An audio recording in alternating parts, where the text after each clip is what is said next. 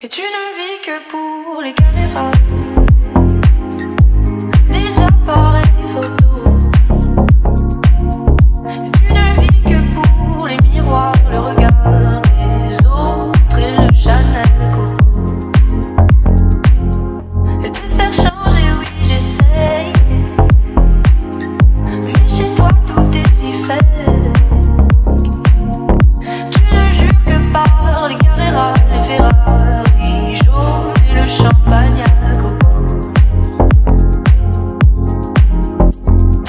Gisèle, Gisèle, quel misère, tu ne vis que dans le virtuel.